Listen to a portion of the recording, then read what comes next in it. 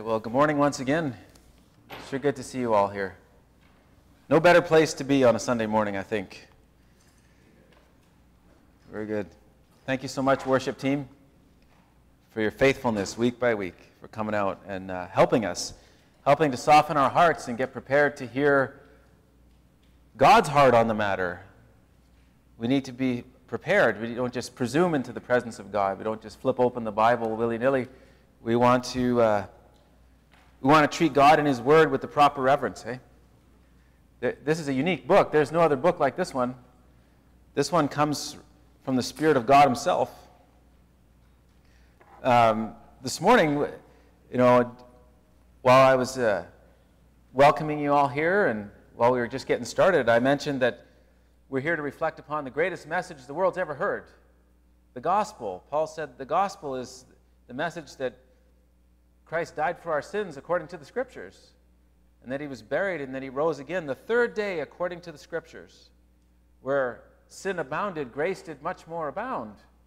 Demonst- that was demonstrated in the sinless life of Christ and his death and resurrection, you know, and in the things he taught and in the miracles he performed. It's there, that message there in, in that man's life, in, in his words. Who is Jesus? Well, he's the He's an Israelite. He's the lion of the tribe of Judah. He still has that identification. In the future, he'll still be a Jewish person. You know that? Who are the Israelites? Oh, that's that nation that came out of Egypt, right? Led by Moses through the wilderness, came through the Red Sea. That's Israel. Oh, how did they end up in Egypt? How did they end up in bondage for 400 years? Oh, we're reading about that now. Remember one of the sons of Jacob was sold into slavery and sold into Egypt. And while he was in Egypt, this young man, Joseph, 13 years away from home, and some of those years spent in, a, in an Egyptian jail. That young man, through the providence of God, we read about it last week, he, he rose to second in command over all of Egypt. The only one above him was Pharaoh. Pharaoh entrusted everything to Joseph. And we're reading about, about uh, Joseph now.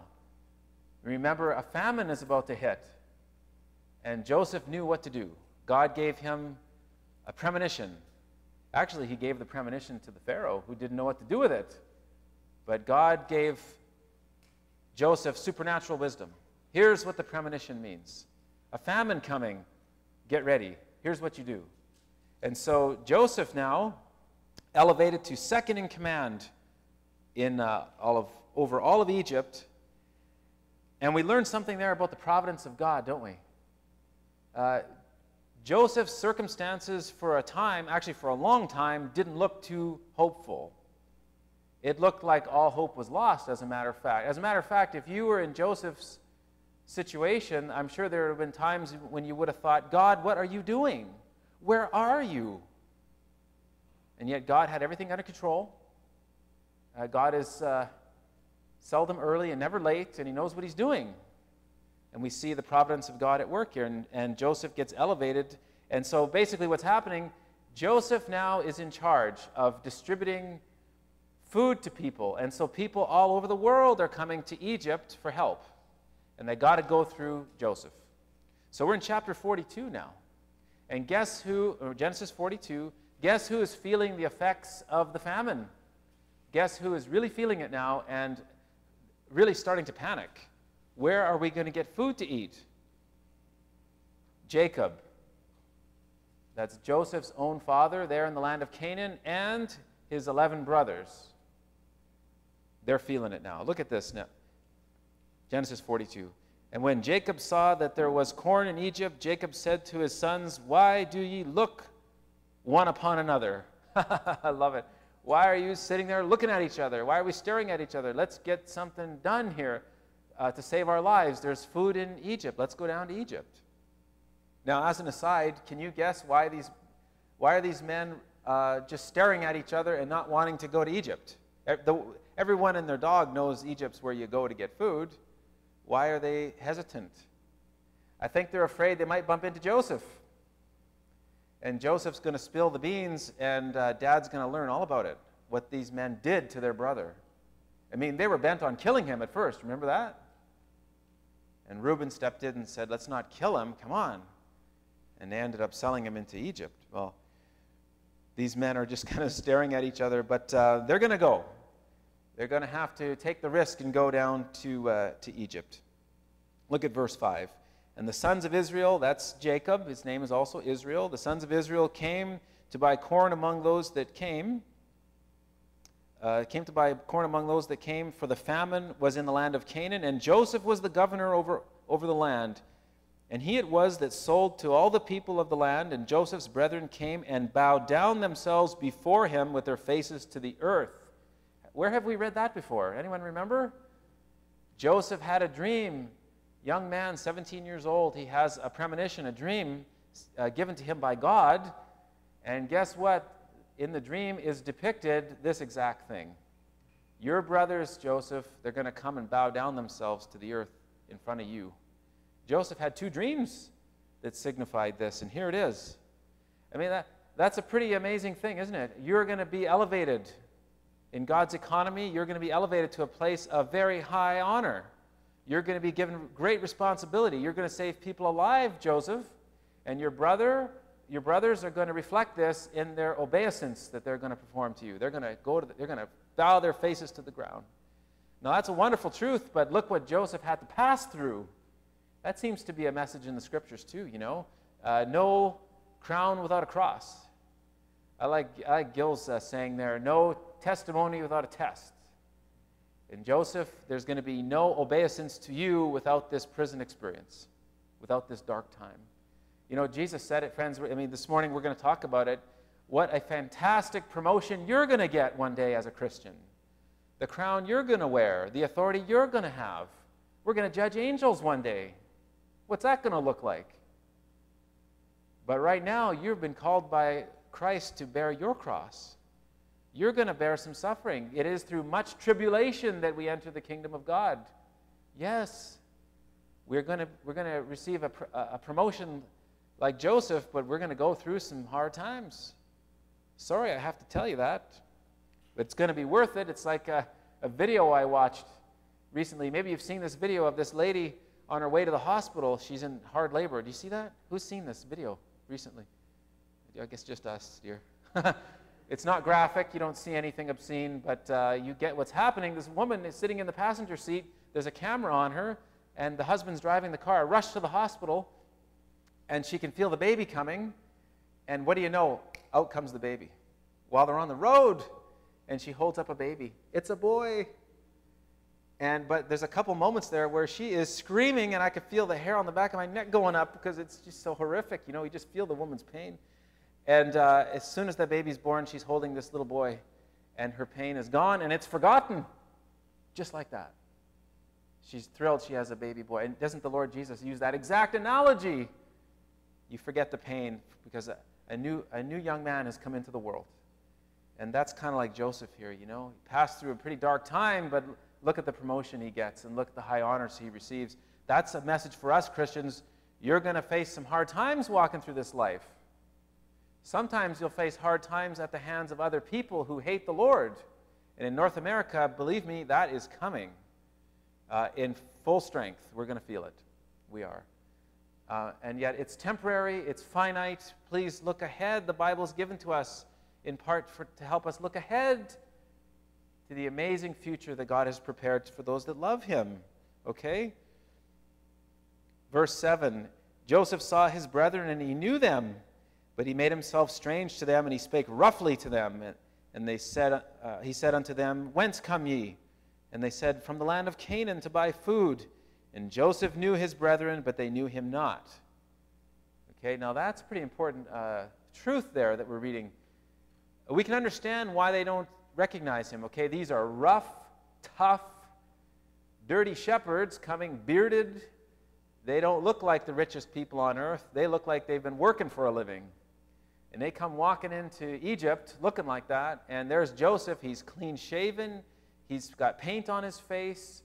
Uh, he looks like an Egyptian. And he's speaking Egyptian to them fluently. He needs an interpreter. We'll read about that. So they don't have a clue who they're talking to. All they know is there's a, there's a, a bigwig up there in Egypt, a man of high honors that we need to treat with respect. But Joseph knows exactly who they are.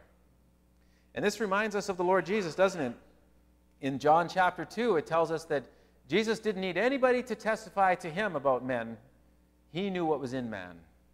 Remember that right at the end of John 2? But to see, Christ's own brethren didn't believe in him. They didn't know who he really, really was. It says, John chapter 7, verse 5, neither did his brethren believe him. They were kind of mocking him, as a matter of fact. And we see a little Bible truth there reflected in the life of Joseph, don't we? It says in verse 9, And Joseph remembered the dreams that he dreamed of them, and he said to them, You are spies. But now Joseph's going to have a little fun with them. I'm not, I have to confess to you, I really don't understand all of what's motivating Joseph. I think he wants to reveal himself to them. He wants to have a connection with them. He doesn't want them to just take the corn and head back to Canaan. He wants relationship again with them. Uh, but uh, he's got some kind of plan in his mind that I really don't understand. But here we have a false accusation, and Joseph knows it's false, right? You're spies. Verse 10, it says here, they say to him, Nay, Lord, but to buy food are thy servants come. And then they start giving Joseph all kinds, they say they panic now. And they start giving this Egyptian, they think he's just an Egyptian. They start giving him all kinds of information. We are, this, uh, we are one man's sons. We are true men. Uh, in other words, we're telling the truth. We're, we're, we do not lie. We're not lying to you. you know, be, be kind to us. You know, don't harm us here. We're not lying. Uh, it says in verse 13, they said, Thy servants are twelve brethren, the sons of one man in the land of Canaan, and behold, the youngest is this day with our father, and one is not. And so, in other words, uh, the, okay, the young one, Benjamin, he's still there in Canaan with our dad, and one of our brethren, he's gone. Right? And they're talking to the actual guy. You're actually the one that's gone. And they have no idea who they're talking to. Joseph said to them, uh, That is it that I spake unto you, saying, Ye are spies. Hereby shall ye be proved. By the life of Pharaoh you shall not go forth hence, except your youngest brother come, come thither. So he's going to have a he's going to have a little plan here. Okay, I'm going to figure out if you're spies or not. We're going to put you all in prison. And one of you is going to go back to Canaan, and you're going to bring that youngest brother that you talked to me about, you're going to bring him back now. And then I'll know that you're not spies. So he's going to put them in custody it says uh, in verse 17, three days you guys are in custody. And he brings them out of custody and he says, okay, well, a slight modification to my plan. You can all go back and get your youngest brother except one. We're going to keep one of you. And that is going to be Simeon, you're going to find out. Now look at verse 21. We're going to see some real repentance. I think this is godly sorrow here. I think, I think these men have evolved over time. I think that they have grown uh, spiritually. I think they've matured somewhat since they've uh, mishandled their brother Joseph. Look at this, verse 21. And they said one to another, We are very guilty concerning our brother, in that we saw the anguish of his soul when he besought us, and we would not hear. Therefore is this distress come upon us. Remember before they threw Joseph into that cistern that didn't have water in it? They threw him down there, and I said, Well, I'm sure he's not just quiet down there. He must have been pleading with them. And here our suspicions are confirmed. He was. And these guys showed absolute apathy for their brother. In fact, they sat down and had lunch while he was pleading for their mercy. Oh, of course, now we have the oldest, Reuben, showing up to say what? Basically, I told you so. Look at now, please, verse 22. Reuben answered them, saying, Spake I not to you, saying, Do not sin against the child? And you would not hear? Therefore, behold, this, his blood is required. I told you this was a bad idea. Now we're really going to get it. Now we're suffering. But uh, I think what we're getting from these brothers is a real confession here. They said one, one to another, not knowing that Joseph is standing there, not knowing he can even understand. I mean, the very next verse says, verse 23, uh, Joseph understood, but they didn't know that. They're, they're using an interpreter. There's a translator on the scene here. And so these men are confessing one to another, We are very guilty. We would not hear. And I think, I, just want to say something as an aside here, if I could. And, and now we get into a little theology here, but uh, mankind can hear the voice of God. I'm convinced of it. We read Romans chapter 1, general revelation, Romans chapter 2, we've got God's internal witness in our heart of hearts. The Bible tells us in John 1 9 that Jesus Christ is the true light that lightens every man coming into the world. That means everybody. Everybody is aware of God's presence. Everybody knows that God is real, that He exists, that He makes moral demands on our lives. The problem is we will not hear. That's the issue. It's not that you can't. By the way, I don't think you could, anybody, anywhere, ever, if God didn't enable you to. Christ is the true light that enlightens every man. Okay, that's why the Bible says, Romans chapter 1, verse 20, you are without excuse when you deny and suppress the truth in unrighteousness, truth of God. That's the, that, you're not going to say to God when you stand before his solemn judgment seat, no one's going to say, Well, I didn't know. Uh, no one told me. I didn't know. Uh, I had no idea that there wasn't such a person as you, God. God will say, Oh, no, you don't. You knew perfectly well. As a matter of fact, that is going to be the problem. God is going to sit down with people, and we're going to talk about what you knew to be true and you denied and suppressed. The, the, the truth that God did confront you with, and you knew it was true, and you said, I didn't want to hear it. I don't want to hear it. I want intellectual and moral autonomy. I'll live my life the way I want to, thank you. That doesn't go on forever. Okay, and I think we have the strongest intuition, don't we? That you're guilty of the things you heard and understood and just pushed away. You're guilty not because you couldn't hear, but because you wouldn't hear. That's the issue. These men are recognizing it, and they're correct. We are very guilty because we would not hear, okay? You go to the great prophets of the Old Testament, the great ones, the major prophets Jeremiah, Isaiah, Ezekiel. And that's the indictment they have for God's people. You would not hear. Remember Isaiah chapter 5, where Isaiah says, Israel, you're my vineyard. And I did everything for my vineyard. And I came looking for grapes. And why is it that I got wild grapes? I got stinky, rotten fruit from you. Why? What? And then God asks the question What more could I have done for my vineyard? What more could I have done? I gave you everything. I did everything I could do. He is expecting a negative answer there in Isaiah 5. And that's one of the reasons, uh, friends, why I'm just not a five point Calvinist. I just don't see it there. I don't see that God just sort of arbitrarily regenerates people and kind of just zaps you, and there now, now you believe. Now you can recognize truth. No, I don't see that. Otherwise, God could have just gave irresistible grace. I mean, he says, "What more could I have done?" Well, you could have gave irresistible grace, but he didn't. I mean, are you, I hope you're seeing that. Are you understanding what I'm saying here? God is fair to the human race. He is fair to humanity. He gives you everything you need to respond affirmatively to the truth He's confronting you with. And the sad fact is, most people on this earth just won't respond affirmatively to His truth. We want our own lives, we want to make our own choices, we'll make our own values, value judgments, moral judgments. Thank you very much. And um, well, God says uh, you'll be called to account for that. Anyway, we see it here. We have that intuition, and these men had it, and they're correct. They would not hear. It isn't that they couldn't hear Joseph down there in the well, they, they just wouldn't. Okay, verse uh, 24 now. Look what, look what happens here. And he turned himself about from them and he wept. This is Joseph now. Joseph seeing his brothers, they're in agony here. We're guilty. We're, we're going to get punished for this. Uh, they are, this is not comforting. They're, they're tormented. And Joseph has a soft heart to this very hour. We, how, how do you go through the things Joseph has gone through and you have your heart still soft for those that meant to do you harm? How do you do that? We're going to find out later. Joseph has the things of God in his mind. Joseph's going to tell his brothers later on, You meant to do me evil, but you know what? God had that whole thing in mind to do good to the world. God orchestrated all this to do good, to save people alive through the famine. I needed to be in Egypt. And you, you know, you, you were, your motives were bad, but God used those things to make a greater good come about. That's how Joseph's getting through this. That's how his heart is staying soft. He's got the plans and purposes of God in his mind and in his heart. That's how Jesus Christ, the Lord, could allow himself to be nailed to a tree, and, and then guess what? He could offer prayers for those that were murdering him. Father, forgive them. They know not what they do. Oh, that the church of God would have hearts like that. We'd have soft hearts for people. I'll confess to you, your pastor today does not always have the softest heart for people. How are you doing? Would you pray for your murderers? Very difficult, isn't it?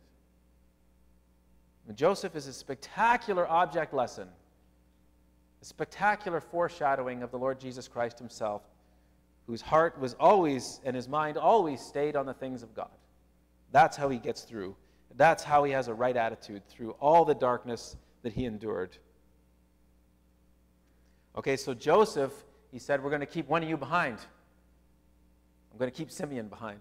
You guys, you go back. Here's some, here's some food. You go back to Canaan and you get that younger brother of yours, and uh, I'm keeping Simeon.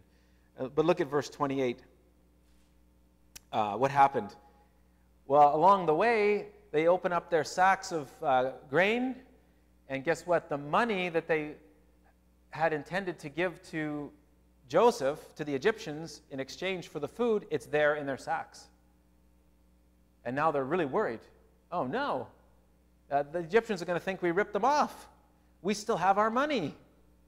This man, this guy was hostile to us and we didn't do anything to him. Now he's got a reason. We're in danger. Look at verse 28.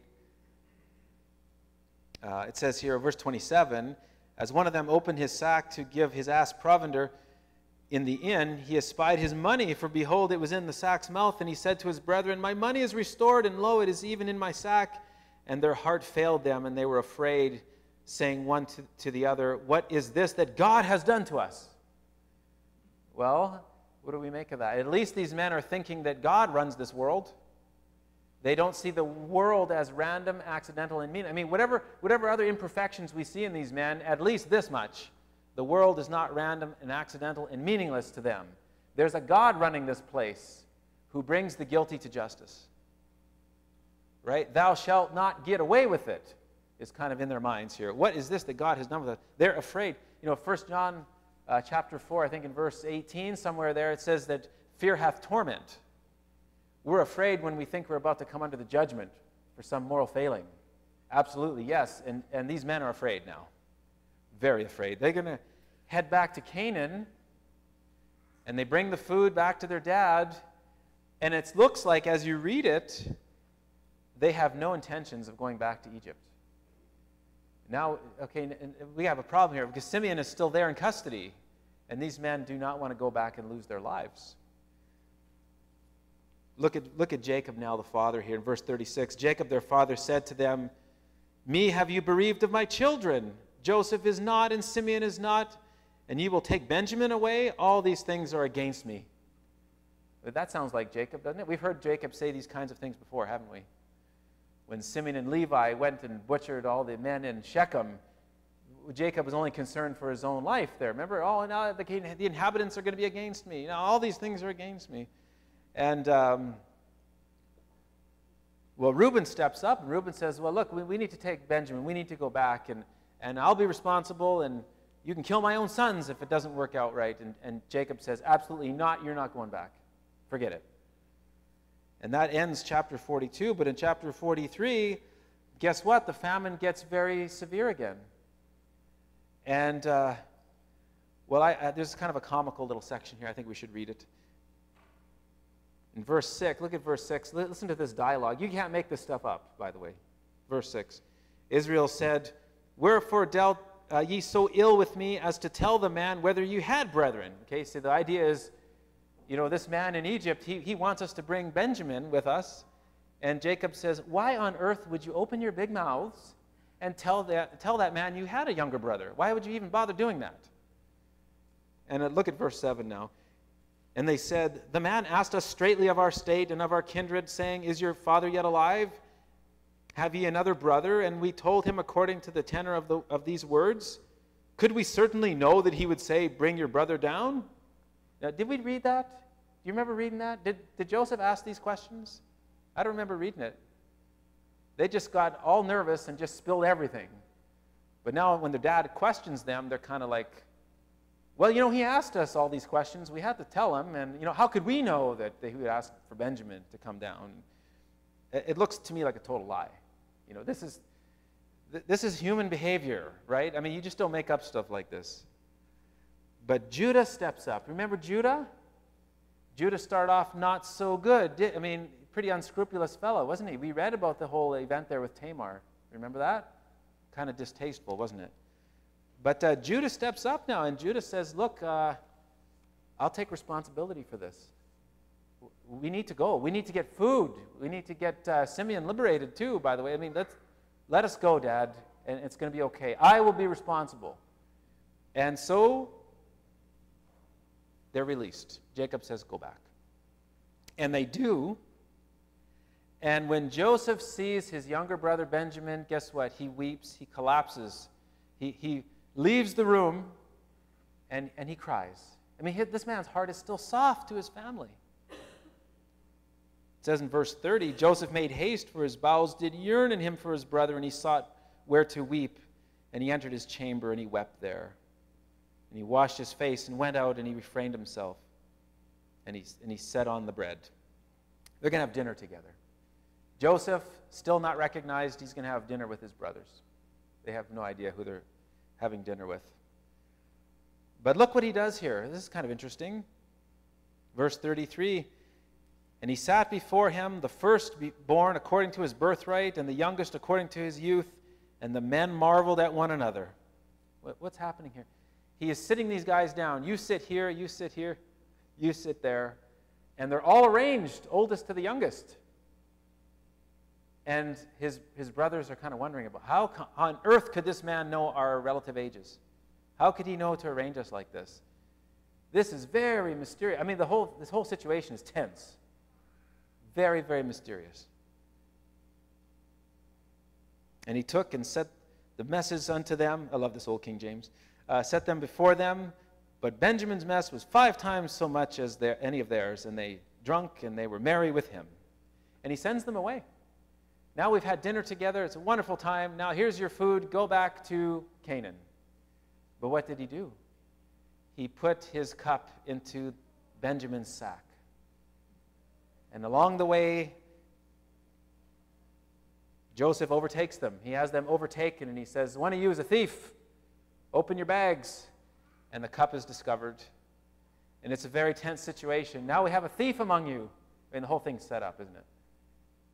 Benjamin's a thief. He's coming back. He's going to be prisoner. And who steps up? Judah. Judah steps in. I will be I will be the guilty party here. You could treat me as the guilty one. Look at verse 14. Judah. Judah and his brethren came to Joseph's house, for he was yet there, and they fell before him to the ground. Verse 16. And Judah said, What shall we say unto my Lord? What shall we speak? Or how shall we clear ourselves? God has found out the iniquity of thy servants. Behold, we are my Lord's servants, both we and he also in whom the cup is found. Verse 18, Judah again has things to say. He says, Let not thine anger burn against thy servant, for thou art even as Pharaoh. And Judah's really, as we read this, Judah is concerned. He, you know he's concerned about? His dad. Uh, we just can't break our dad's heart again. And Judah steps in as the intercessor. He, and he's actually the, he's going to be the guarantee. He'll be the mediator. He'll be the substitute. Take me, don't take Benjamin. I'll be the one uh, who'll take the guilt here. I love this uh, recognition here in verse 18. He says to Joseph, Thou art even as Pharaoh. He recognizes a very important Bible truth there. I mean, this, this is a shadow of Christ here. Psalm 2, right? Uh, serve the Lord, Yahweh, serve Jehovah with fear, kiss the Son. And we recognize, don't we, that Jesus Christ the Lord is the second member of the Trinity. He is every, much, every bit as much God as the Father. You're even as the Father, Jesus. Yes. We see a little shadow there with, with uh, Joseph. He is even as the Pharaoh. And so, uh, what happens? Well, uh, they're going to there's going to be an agreement here. And in fact, it's going to be a spectacular agreement that takes place right after Joseph reveals himself to his brothers. Uh, let's look at the next chapter, chapter 45. Let's look at a spectacular revelation here.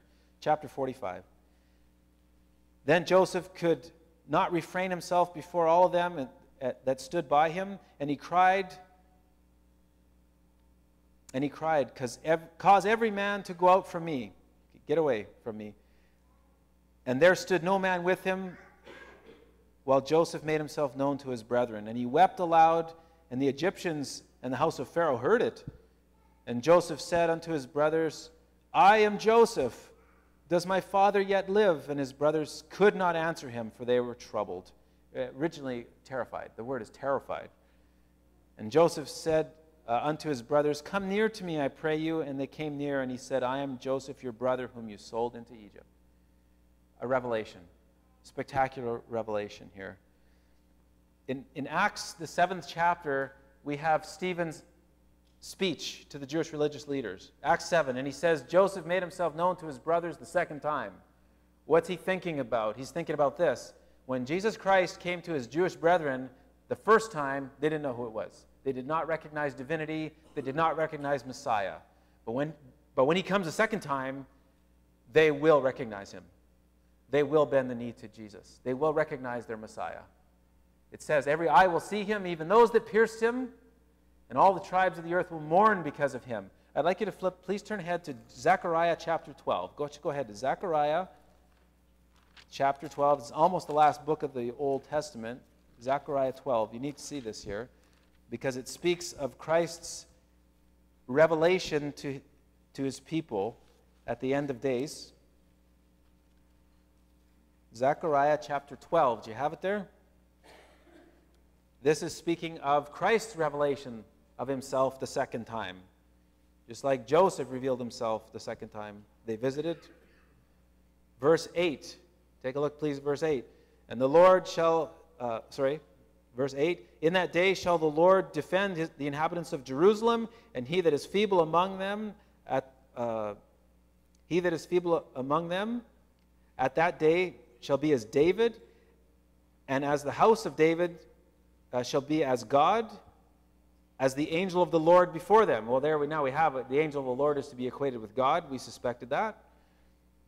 And it shall come to pass in that day that I will seek to destroy all the nations that come against Jerusalem, and I will pour upon the house of David and upon the inhabitants of Jerusalem the spirit of grace and of supplications, and they shall look upon me whom they have pierced, and they shall mourn for him as one mourns for his only son, and shall be in bitterness for him as one that is in bitterness for his firstborn. Who is talking here in these verses? It's God Almighty. He's talking. He's the one. But notice what he says here in verse 10 They shall look upon me whom they have pierced. God Himself pierced when? How? On the cross of Christ. Jesus Christ, the Lord God Almighty, pierced for our, our iniquities, Isaiah tells us. Remember that? A spectacular revelation to God's covenant people one day in the future, just like we have a revelation here uh, to, his, to Joseph's Jewish brethren. Look what it says in verse 5. Now, therefore, be not grieved. This is Joseph talking to his brothers. Don't be grieved. Don't be angry with yourselves. For ye sold me hither. For God did send me before you to preserve life. Look at here, verse 6. For these two years hath the famine been in the land, and, uh, ye, and yet there are five years in the which there shall be neither, uh, neither be earing or, car- or harvest. And God sent me before you to preserve you a posterity in the earth and to save your lives by a great deliverance. And so it was not you that sent me hither, but God. And he hath made me a father to Pharaoh, and Lord of all his house, and ruler throughout all the land of Egypt. And it just goes on several verses here. I encourage you to read them. But this is all about the sovereignty of God. These last verses here, up to verse 12, I mean, this is, this is Joseph telling his brothers, Please, brothers, will you listen with both ears? This is really, really important. And by extension, we're supposed to listen with both ears. This universe is just not left on autopilot. Things are not just happening randomly around here, unpredictably. Uh, there's a plan and a purpose to this whole thing. Uh, when you're caught in the middle of it, it looks just so senseless sometimes. And you ask, you ask yourself, why? Beautiful children lost, abducted, hurt, harmed. We were still looking for this, this lady, Mrs. Kroll, right? Why? Why is that? uh, you just pick up the newspaper and just read about it. Why? Oh God, why? And, and God is encouraging us to stop and just reflect a little bit. Why are you even framing this with the question why? Why are you even doing that? If you really thought the place was random and accidental and meaningless, you'd never ask why in the first place. The reason why everybody asks why is because deep down, like the Bible tells us, we do know that there's a plan and purpose behind it all. And you might not figure it out why things are happening the way they are right now, and I might not figure it out. And you know what? We won't figure out a lot of it on this side of heaven. But Joseph says, please listen. God has a plan and a purpose. He's working all things together for good. He let this happen so that lives would be spared, to save Israel, to save the Egyptians, and to make a fantastic object lesson for you of future spiritual truths that will be life saving, spiritually life saving. Uh, I hope we're getting, are we getting this? Look what he sees. I mean, Joseph is so bold. He actually says, It wasn't even you who brought me to Egypt, it was God. What do we call that? We call that weak actualization. There's a word for you you could take home. It was God that engineered the whole thing. And that's amazing.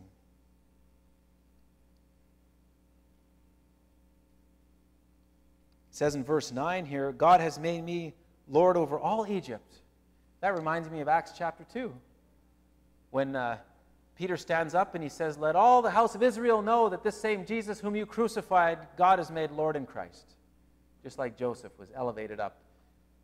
So has the Lord Jesus been elevated up to sit at the right hand of God the Father to now to make intercession for the saints. He's been given the name above every name, that at the name of Jesus every knee will bow, every tongue will confess. You can do it now willingly, you can do it later unwillingly, but every, every tongue will confess. Something that I had mentioned earlier.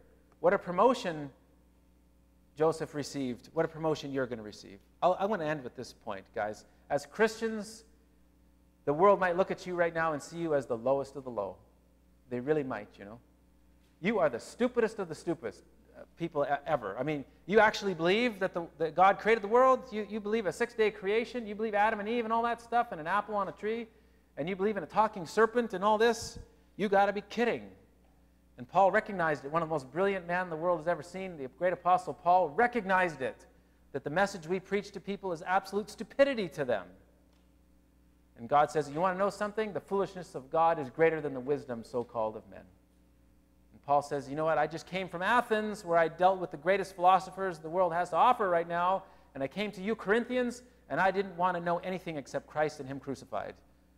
I did not come to you with words of wisdom, great swelling words, or anything else. I came and I preached Christ and Him crucified, and that was it. That's the wisdom of God. That's how the wisdom of God is displayed to men, right there in the cross of Christ. And if we will be faithful with that message, what a promotion you we're going to receive. And the Bible says we're going to judge angels. It tells us in Hebrews, the second chapter, God has not put into subjection the world to come to angels, but to us when Christ came into the world, he didn't take upon himself the nature of angels, the Bible says, but he took upon him the nature of Abraham. He became like us, he became a real human being. And Peter says, You Christians, you're, you've been made to become partakers, get this, of the divine nature. How do you like that? You want to talk about a promotion, you want to talk about an upgrade. That's the heritage of God's people, too, you know. And you say, John, it sure doesn't feel like it right now. I know. We were working hard yesterday and my back still hurts. And you forget things and you make bad judgments and your body aches sometimes and, and there's confusion sometimes and there's darkness sometimes. And God says, Dear child, will you trust me? Will you learn the lesson that Joseph learned? That sometimes, you, even as a Christian, you're going to pass through difficult things that don't seem to make sense. But will you trust me that I've got this all under control? And I'm going to show you in the future how I worked it all together for good. Will you take that to your heart and will you put that in your mind and help you to see things aright? And ensure that your heart remains soft for God and soft for His Word and for your fellow man? Will you do that? And that's the I mean, that's, that's just some of the spectacular messages we have from Joseph. And I wish we had time because I'd love to just look at all these wonderful things that are jam packed into these wonderful texts here. But we need to, we need to close right now and we, we need to do like the Lord told us and we need to partake of the Lord's Supper. So I'm going to have a word of prayer here and, and we're going to pass out the elements, okay? Father God, in Jesus' name, we thank you for this morning that we can be here. And uh, uh, Lord, help us. Help us through the difficult times we ask you to help us to bring every thought captive to the obedience of Christ. It is so desperately needed in our lives, Lord. We ask you to pull our thoughts where they need to go, pull our affections where they need to go. We ask, especially, Lord, now in this holy time where we remember Christ's infinite sacrifice that he made for us, the broken body and the shed blood. Lord, now we want to uh, observe that we want to do like you told us to do in remembrance of what you did for us, Lord Jesus.